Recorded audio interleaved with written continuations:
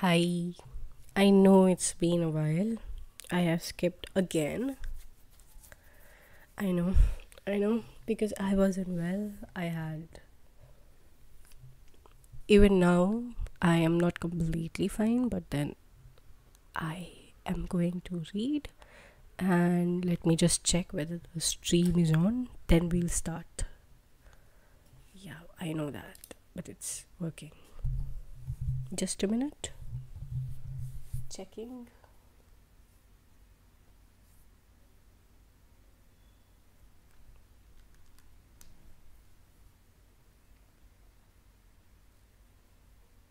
YouTube.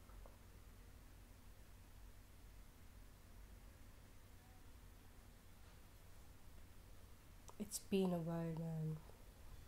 I know. I know it's been a while. Is it working? Is it working? Is it not working? Let's see.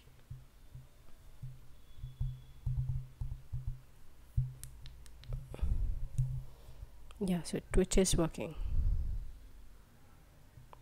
Yeah.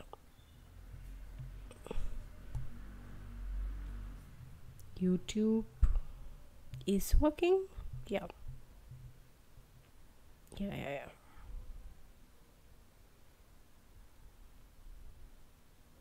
Let's start up. Both of them are working. Please message or comment if there is any problem in the stream in between and you're watching. There is any suggestion of like read rereading any other book, rereading any other chapter which was not clearly audible or visible in the stream. There was some network problem or whatever the reason. I can do that. Do tell me if there is any such suggestion. Let's start with the reading. Part 2 of the book Brief History of Humankind Sapiens by Yuval Noah Harari. Part 2 The Agricultural Revolution. Till now we had read Cultural Cognitive Revolution. Now we are on the agricultural revolution. This is this picture is of the wall painting from an Egyptian grave dated about 3500 years ago depicting typical agricultural scenes. Yeah, we can see them. There is a cow as well in the background. Yeah. Chapter 5 History's Biggest Fraud. For 2.5 million years, humans fed themselves by gathering plants and hunting animals that lived and bred without their intervention. Homo erectus, Homo ergaster, and the Neanderthals plugged with wild figs and hunted wild sheep without deciding where fig trees would take root, in which meadow a herd of sheep would graze, or which billy goat would inseminate which, which nanny goat. Homo sapiens spread from East Africa to the Middle East to Europe and Asia and finally to Australia and America. But everywhere they went, sapiens too continued to live by gathering wild plants and hunting wild animals why do anything else when your lifestyle feeds you why do anything else when your lifestyle feeds you amply and supports a rich world of social structures, religious beliefs, and political dynamics? All this changed about 10,000 years ago when sapiens began to devote almost all their time and efforts to manipulating the lives of a few animal and plant species. From sunrise to sunset, Humans sowed seeds, watered plants, plucked weeds and from the ground and led sheep to prime pastures. This work, they thought, would provide them with more fruit, grain, and meat. It was a revolution in the way humans li- lived, the agricultural revolution. The transition to agriculture began around 9500 to 8500 BC in the hill country of southern, southern southeastern Turkey, western Iran, and the Levant. It began slowly and in a restricted geographical area. Wheat and goats were domesticated by approximately 900 BC. Peas and lentils around 8000 BC, olive trees by 5000 BC, horses by 4000 BC, and grapevines in 3500 BC. Some animals and plants, such as camels and cashew nuts, were domesticated even later, but by 3500 BC, the main wave of domestication was over. Even today, with all our advanced technologies, more than 90% of the calories that fed that feed humanity come from the handful of plants that our ancestors domesticated between 9500 and 3500 BC. Wheat, rice, maize, called corn in the US, potatoes, millets, and barley. No noteworthy plant or animal has been domesticated in the last 2000 years in our mind. If our mind are those of hunter gatherers, our cuisine is that of ancient farmers. Scholars once believed that agriculture spread from a single Middle Eastern point of origin to the four corners of the world. Today, scholars agree that agriculture sprang up in other parts of the world not by the action of Middle Eastern farmers exploring their revolution, but entirely independently. Independently, people in Central America domesticated maize and beans without knowing anything about wheat and pea cultivation in the Middle East. South Americans learned how to raise potatoes and lamb, llamas, unaware of what was going on in either Mexico or the Levant. China's first revolutionaries domesticated rice, millets, and pigs. North America's first gardeners were those who got tired of combining the undergrowth for edible goods and decided to cultivate pumpkins. New Guineans tamed sugarcane and bananas, while the first West African farmers made African millet, African rice, sorghum, and wheat conform to their needs. From these initial focal points, agriculture, agriculture spread far and wide by the first century AD. The vast majority of people throughout the most of the world were agriculturalists. Why did agricultural revolution erupt in the Middle East, China and Central America but not in Australia, Alaska or South Africa? The reason is simple. Most species of plants and animals can't be domesticated. Sapiens could dig up delicious truffles and hunt down woolly mammoths, but domesticating either species was out of the question.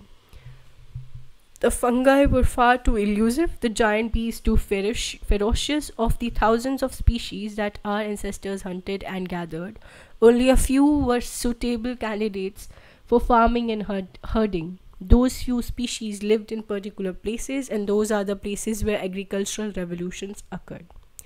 Scholars once proclaimed that the agricultural revolution was a great leap forward for humanity they told a tale of progress fueled by human brain power. Evolutions gradually produced ever, ever more intelligent people. Eventually, people were so smart that they were they were all able to decipher nature's secrets, enabling them to tame sheep and cultivate wheat as soon as this happened.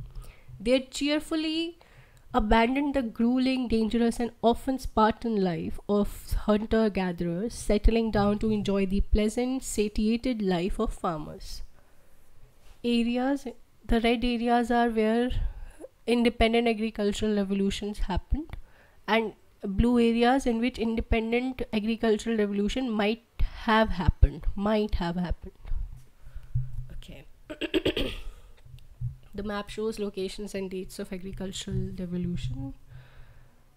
Um, the data is contentious and the map is constantly being redrawn to incorporate the latest archaeological discoveries. Okay.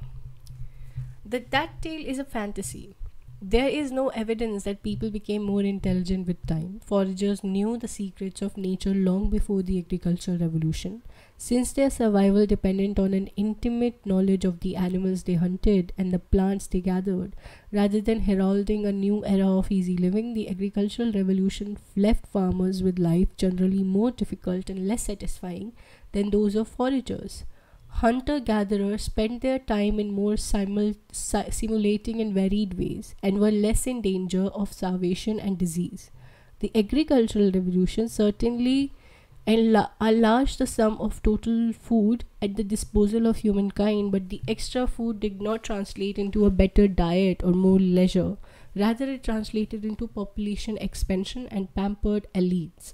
The average farmer worked harder than the average forager and got a worse diet in return. The agricultural revolution was history's biggest fraud. Who was responsible? Neither kings nor priests nor merchants. The culprits were a handful of plant species, including wheat, rice, potatoes. These plants domesticated Homo sapiens rather than vice versa. Think for a moment about the agricultural revolution from the viewpoint of wheat. 10,000 years ago, wheat was just a wild grass, one of many confined to a small range in the Middle East. Suddenly, within just a few mi- short millennia, it was growing all over the world according to the basic evolutionary criteria for survival and reproduction. Wheat has become one of the most successful plants in the history of the world. In areas such as the Great Plains of North America, where not a single wheat stalk grew 10,000 years ago, you can today walk for hundreds upon hundreds of kilometers without encountering any other plant. Worldwide, wheat covers about 2.25 million square kilometer of the globe's surface, almost 10 times the size of Britain. How did this grass turn from insignificant to ubiquitous? We did it by manipulating Homo sapiens to its advantage. This ape had been living a fairly comfortable life hunting and gathering until about 10,000 years ago, but then began to invest more and more efforts in cultivating wheat. Within a couple of millennia, humans in many parts of the world were doing little from dawn to dusk other than taking care of wheat plants. It wasn't easy. Wheat demanded a lot of them, Wheat didn't like rocks and pebbles, so sapiens broke their backs clearing the field. Wheat didn't like sharing its space, water, and nutrients with other plants, so men and women labored long days wedding under the scorching sun. We'd got sick, so sapiens had to keep a watch out for worms and blight. Wheat was defenseless against other organisms that liked to eat it, from rabbits to locust worms, so the farmers had to guard and protect it. Wheat was thirsty, so humans lugged water from springs and streams to water it. Its hunger even impelled sapiens to collect animal feces to nourish the ground in which wheat grew. The body of Homo sapiens had not evolved for such tasks. It was adapted to climbing apple trees and running after gazelles not to clearing rocks and carrying water buckets. Human spines, knees, necks, and arches paid the price. Studies of ancient skeletons indicate that the transition to agriculture brought about a plethora of ailments such as slip discs, arthritis, hernias.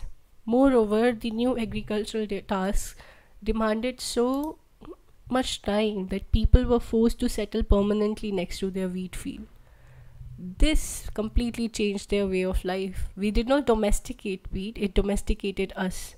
The word domesticate comes from the Latin domus, which means house. Who's the one living in a house? Not the wheat, it's the sapiens. How did wheat convince Homo sapiens to exchange a rather good life for a more miserable existence? What did it offer in return? Did it not offer a better diet? Remember, humans are omnivorous apes who thrive on a wide variety of food. Grains made up only a small fraction of the human diet before the agricultural revolution. A diet based on cereals is poor in minerals and vitamins, hard to digest, really bad for your teeth and gums. Wheat did not give people economic security. The life of a peasant is less secure than that of a hunter gatherer. Foragers relied on dozens of species to survive and could therefore weather difficult years even without could therefore weather difficult years with even without stocks of preserved food. If the availability of one species were reduced they could gather and hunt more of other species. Farming societies have until very recently relied for the great bulk of their calorie intake on the small variety of domesticated plants. In many areas they relied on just a single staple such as wheat potatoes rice or rice. If the rains failed or clouds of locust, locusts arrived or if the fungus learned how to infect that staple species, peasants died by a thousand and millions.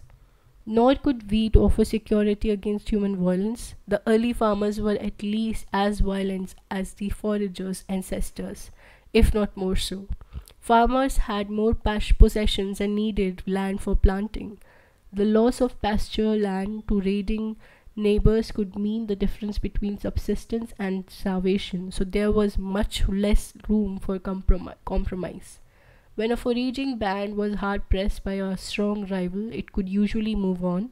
It was difficult and dangerous, but it was feasible. When a strong enemy threatened an agricultural village, retreat meant giving up fields, houses, and granaries. In many cases, this doomed the refugees to starvation. Farmers therefore tended to stay put and fight to the bitter end. This picture is showing tribal warfare in New Guinea between two farming communities, 1960. Such scenes were probably widespread in thousands of years following the agricultural revolution. Oh, damn. Many anthropological and archaeological studies indicate that in simple agricultural society with no political framework beyond village and tribe, human violence was responsible for about 15% of deaths, including 25% of male death.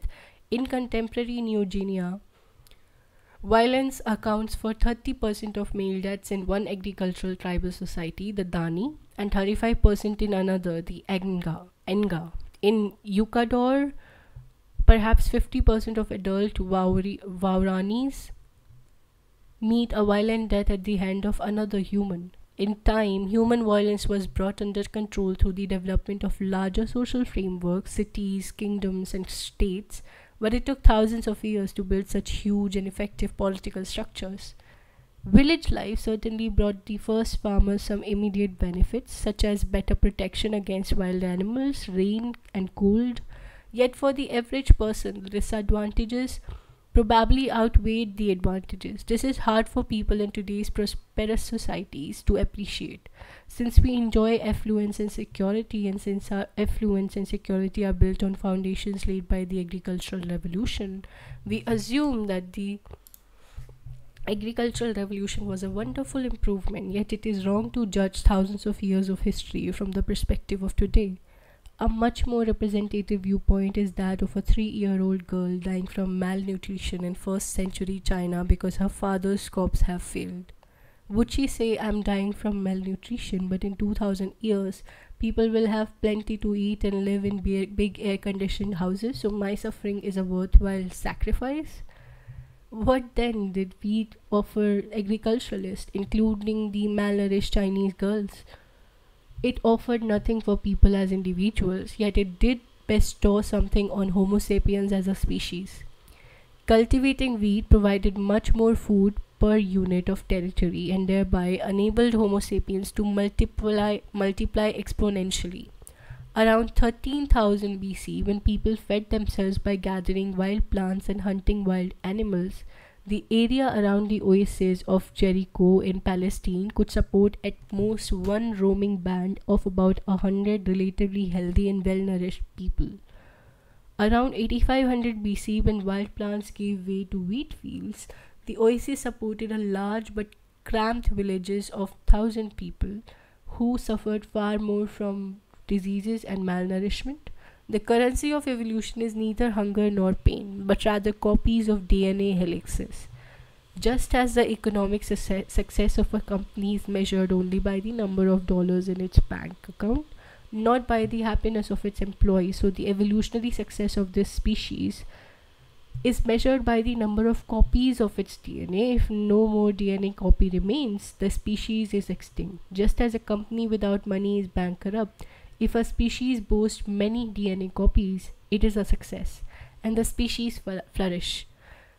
From such a perspective, thousand copies are always better than a hundred copies. This is the essence of the agricultural revolution the ability to keep more people alive under worse conditions. Yet, yet, why should individuals care about this evolutionary calculus?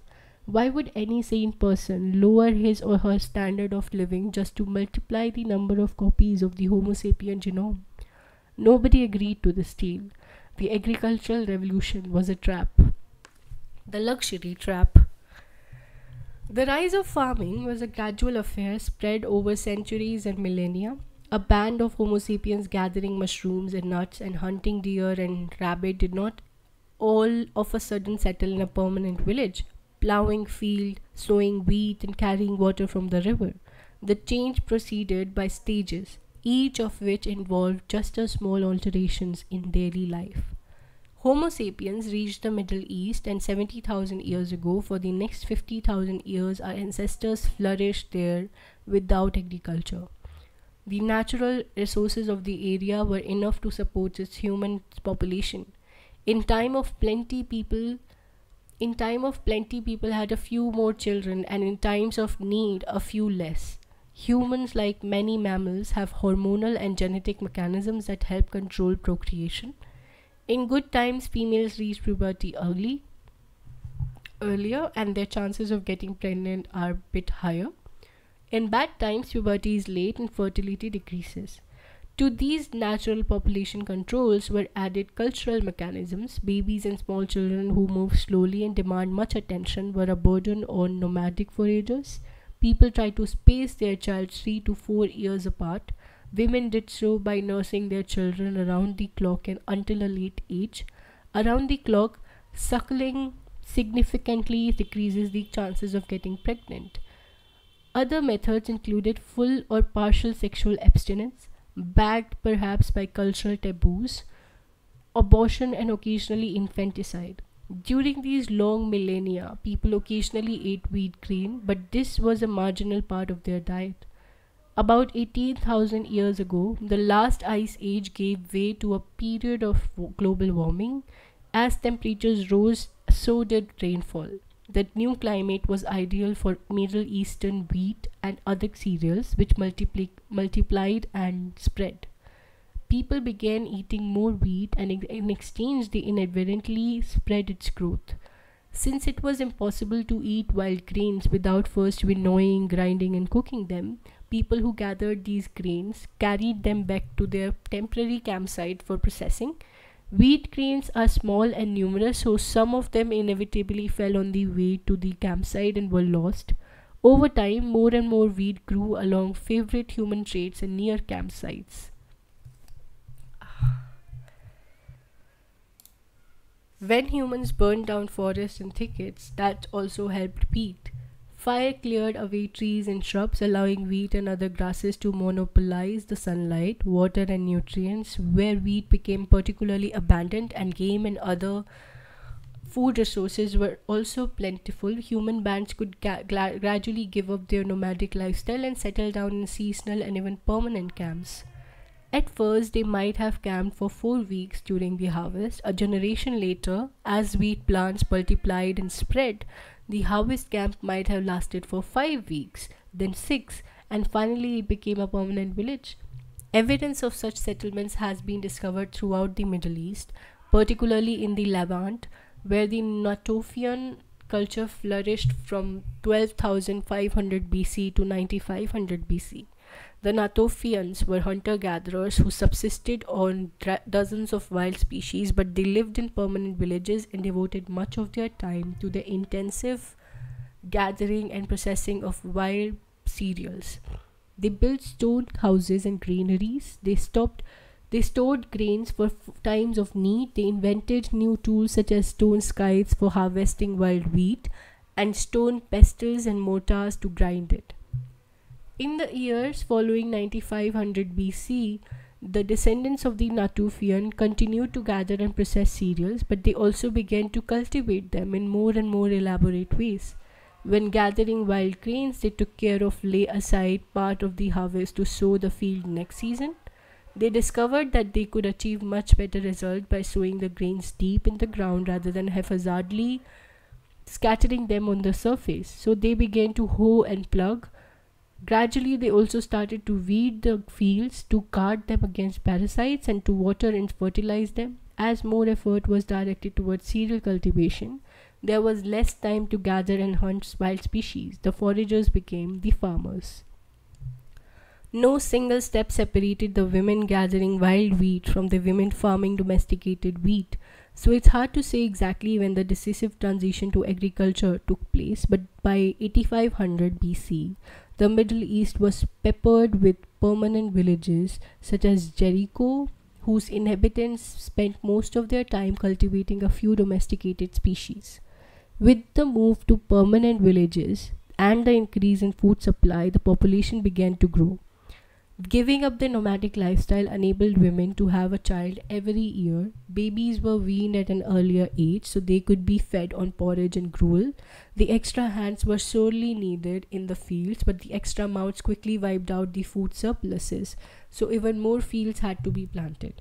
As people began living in disease ridden settlements, as children fed more on cereals and less on mother's milk, and as ch- each child competed for his or her porridge with more and more siblings, child mortality soared. In most agricultural societies, at least one out of every three children died before reaching 20. Yet the increase in births still outpaced the increase in deaths. Humans kept having larger number of children. With time, the wheat bargain became more and more burdensome. Children died in droves, and adults ate bread by the sweat of their brows. The average person in Jericho of 8500 BC lived a harder life than the average person in Jericho of 9500 BC or 13000 BC. But nobody realized what was happening. Every generation continued to live like the previous generation, making only small improvements here and there in the way things were done. Paradoxically, a series of improvements, each of which was meant to make life easier, added up to a milestone around the neck of these farmers. Why did people make such a fateful miscalculation? For the same reason that people throughout history have miscalculated. People were unable to fathom the full consequence of these their decisions. Whenever they decided to do a bit of extra work, say to hoe the field instead of scattering seeds on the surface, people thought, yes, we will have to work harder, but the harvest will be so bountiful. We won't have to worry anymore about lean ears. Our children will never go to sleep hungry. It made sense if you worked harder, you would have a better life. That was the plan. The first part of the plan went smoothly. People indeed worked harder, but people did not foresee that the number of children would increase meaning that the extra wheat would have to be shared between more children. Neither did the early farmers understand that feeding children with more porridge and less breast milk would weaken their immune system and that permanent settlements would be hotbeds for infectious diseases. They did not foresee that by increasing their dependence on a single source of food, they were actually exposing themselves even more to the depredations of drought nor did the farmers foresee that in good years their bulging granaries would tempt them tempt thieves and enemies, compelling them to start building walls and doing guard duty. Then why didn't human abandon farming when the plan backfired? Partly because it took generations for the small changes to accumulate and transform society, and by then nobody remembered that they had ever lived differently and partly because population growth burned humanity's boats. If the adoption of plowing increased a village's population from a hundred to no, no, which ten people would have volunteered to starve so that others could go back to the good old times? There was no going back. The trap, trap snapped shut. The pursuit of an easier life resulted in much hardship, and not for the last time. It happened to us happens to us today. How many young college graduates have taken demanding jobs in high power, high power firms, knowing that they will work hard to earn money that will enable them to retire and pursue their real interests when they are 35? But by the time they reach that age, they have large mortgages, children to school, houses in suburbs that necessitate at least two cars per family, and a sense that life is not worth living without really good wine and expensive holiday abroad. What are they supposed to do? Go back to digging up roots? No. They double their efforts and keep slaving away. One of history's few iron laws is that luxuries tend to become necessities to spawn and to spawn new obligations. Once people get used to a certain luxury, they take it for granted. Then they begin to count on it. Finally, they reach a point where they can't live without it. Let's take another familiar example from our own time. Over the last few decades, we have invented countless time saving devices that are supposed to make life more relaxed washing machine, vacuum cleaner, dishwashers, telephones, mobiles, computers, email. Previously, it took a lot of work to write a letter, address, and stamp an envelope, take it to the mailbox. It took days or weeks, maybe even months to get a reply. Nowadays, I, da- I can dash off an email, send it halfway around the globe, and if my addressee is online, receive a reply a minute later. I have saved all the trouble and time, but do I live a more relaxed life? Sadly, not. Back in the small mail, snail mail era, people usually only wrote letters when they had something important to relate, rather than writing the first thing that came into their heads. They considered carefully what they wanted to say and how to phrase it. They expected to receive a similarly considerate answer. Most people wrote and received no more than a handful of letters a month and seldom felt compelled to reply immediately. Today, I receive dozens of emails each day, all from people who expect a prompt reply. We thought we were saving time, instead, we revved up the treadmill of life of 10 to 10 times its former speed and made our days more anxious and agitated. Here and there, a Luddite, Luddite holdout refuses to open an email account, just as thousands of years ago some human bands refused to take up farming and so escaped the luxury trap. But the agricultural revolution didn't need every band in a given region to join up. It only took one. Only one band settled down and started tilting. Whether in the Middle East or Central America, agriculture was irresistible. Since farming created the conditions for swift demographic growth, farmers could usually overcome foragers by sheer weight of numbers. The foragers could either run away abandoning their hunting grounds to field and pasture, or take up the plugshare themselves. Either way, the old life was doomed. The story of the luxury trap carries with it an important lesson. Humanity's search for an easier life released immense force of change that transformed the world in ways nobody envisioned or wanted. Nobody plotted that in agricultural revolution or sought human dependence or seed on cereal cultivation a serial series of trivial decisions aimed mostly at filling a few stomachs and gaining a little security had the cumulative effort, effect of forcing had the cumulative effect of forcing ancient foragers to spend their days carrying water buckets under a scorching sun. Divine intervention. The above scenario explains the agricultural revolution as a miscalculation. It's very plausible. History is full far full of far more idiotic miscalculations, but there's only possibility. There's only another possibility. Maybe it wasn't the search for an easier life that brought about the transformation. Maybe sapiens had other aspirations and were consciously willing to make their lives harder in order to achieve them. Scientists usually seek to attribute historical developments to cold economic and demographic factors. It sits better with their rational and mathematical methods. In the case of modern history, scholars cannot avoid taking into account non material factors like ideology and culture. The written evidence forces their hand. We have enough documents, letters, and memoirs to prove that the World War II was not caused by food shortage or demographic pressures but we have no documents from the Natufian culture. So, when dealing with ancient periods, the materialist school reigns supreme. It is difficult to prove that pre-literate people were motivated by faith rather than economic necessity.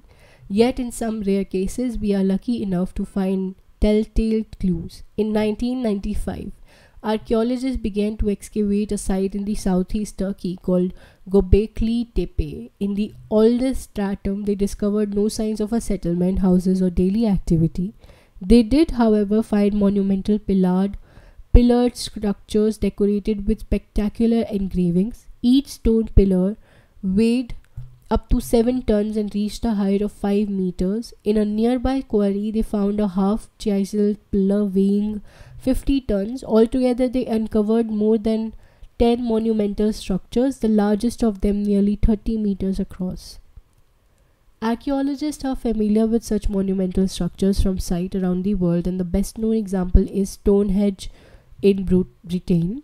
Yet, as they studied Gobekli Tepe, they discovered an amazing fact.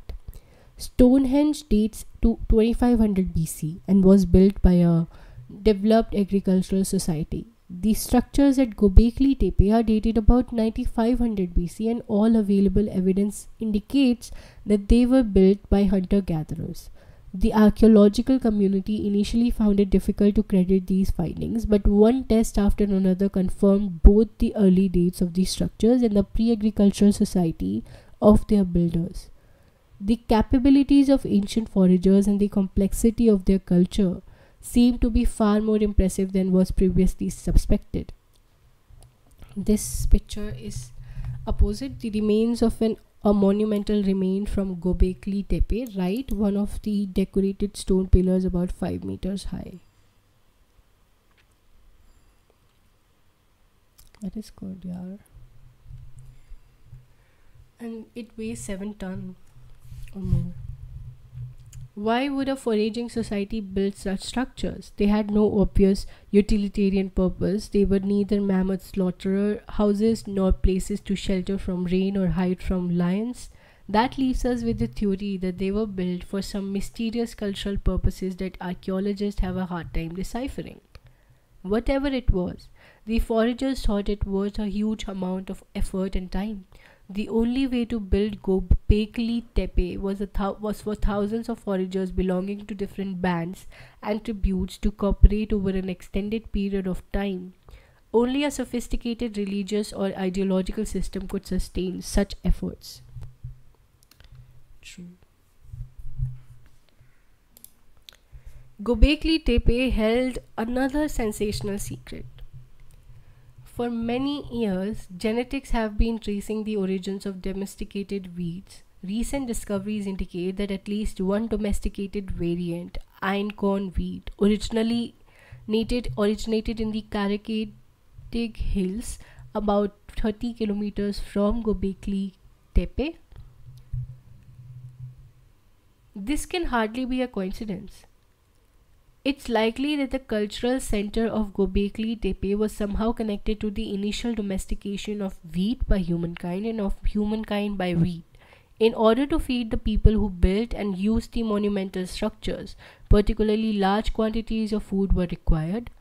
It may well be that foragers switched from gathering wild wheat to intense wheat cultivation, not to increase their normal food supply, but rather to support the buildings and running of a temple in the conventional picture, pioneers first pioneers first built a village and when it prospered they set up a temple in the middle but Gobekli Tepe suggests that the temple may have been built first and the villagers later grew up around it.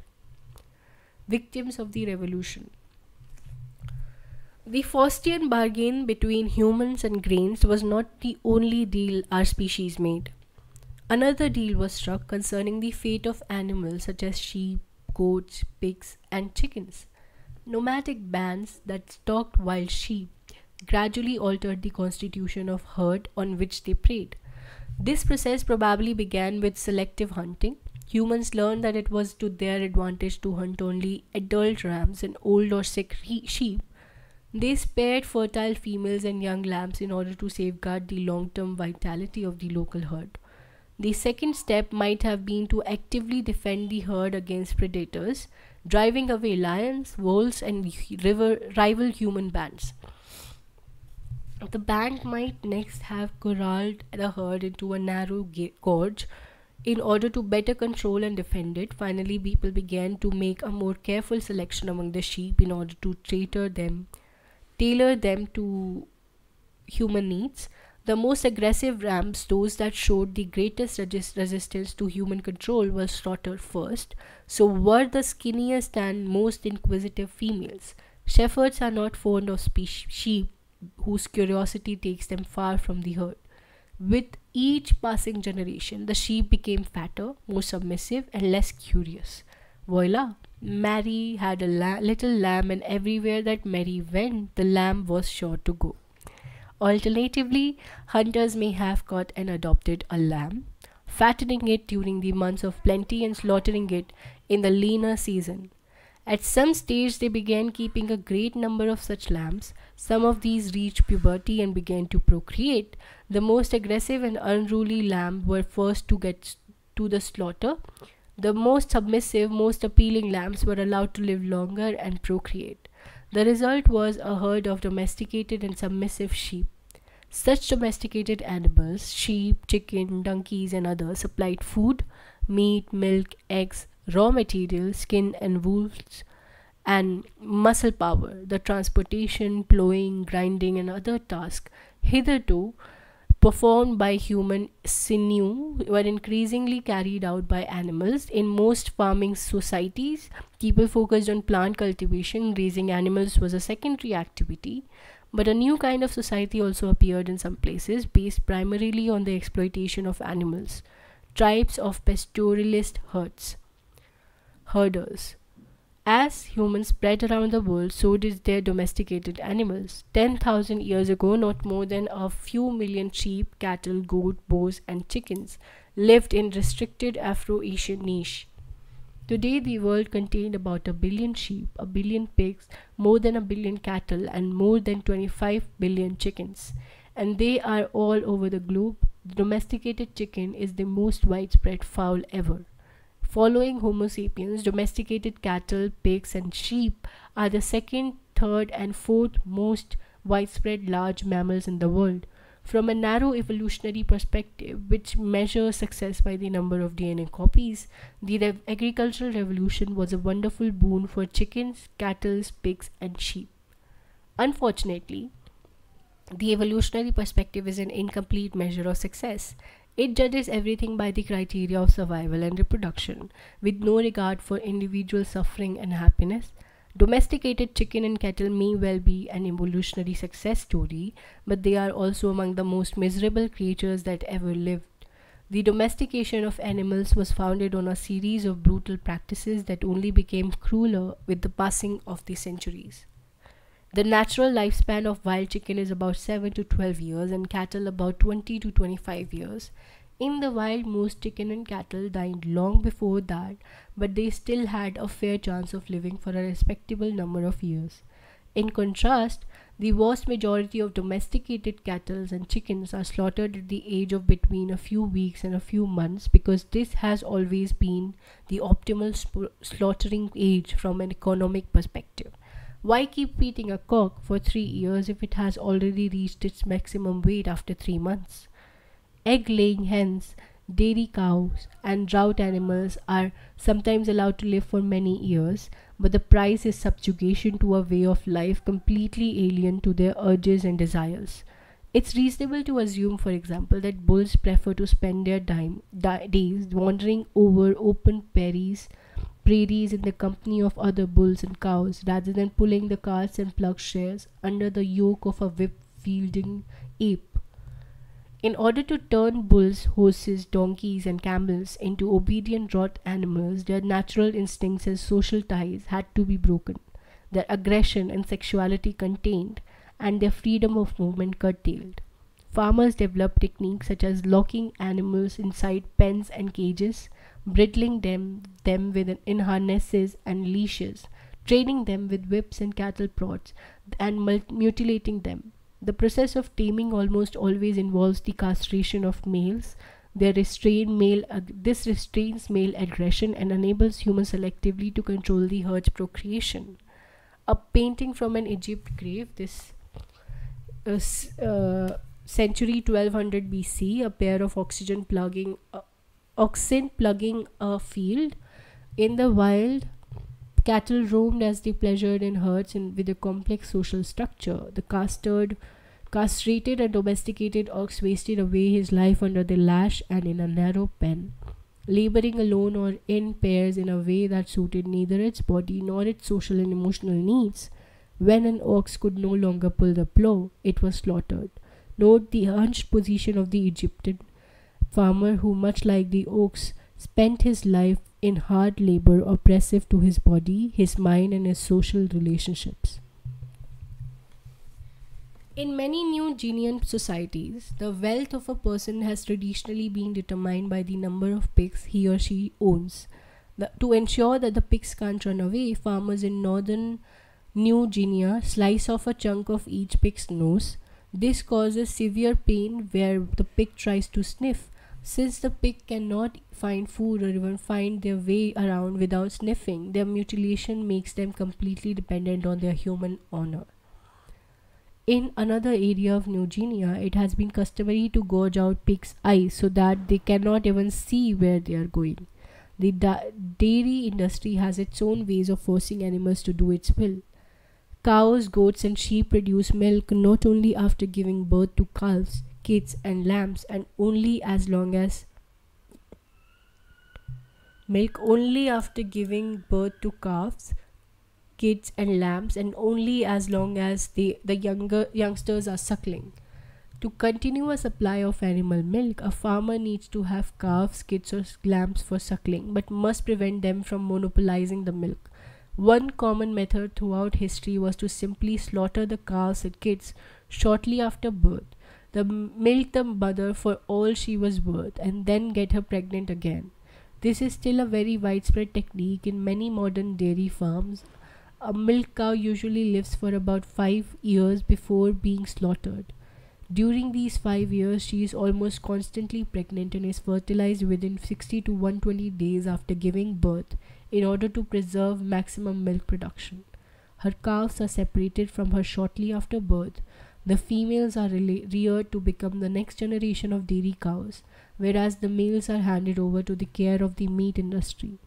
Another method is to keep the cows and kids near their mother but prevent them by various stratagems from sucking too much milk. The simplest way to do that is to allow the kid or calf to start sucking but drive it away once the milk starts flowing. Their method usually encounters resistance from both kid and the mother. Some shepherd tribes used to kill the offspring, eat its flesh, and then stuff the skin.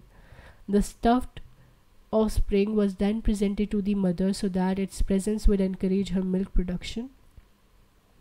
Damn. The Nuer tribe in the Sudan went so far as to smear stuffed animals with their mother's urine to give the counterfeit calves a familiar live scent.